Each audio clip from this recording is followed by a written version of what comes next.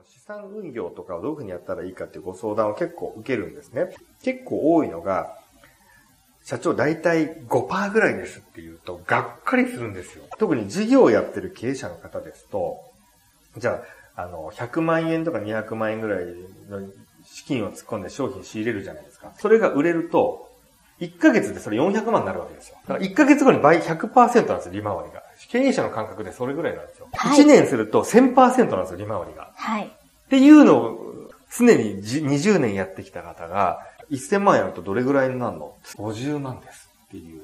で、これに税金取られますから、最初から。っていう話になっちゃうんですよ。はい。あれ？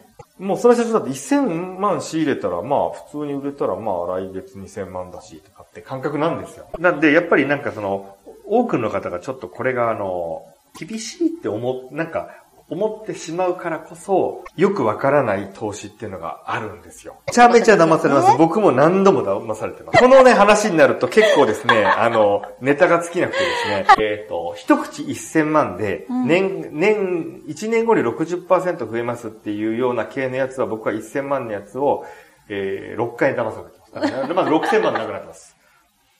はい。プラスはい、ちょっと仮想通貨みたいなやつ。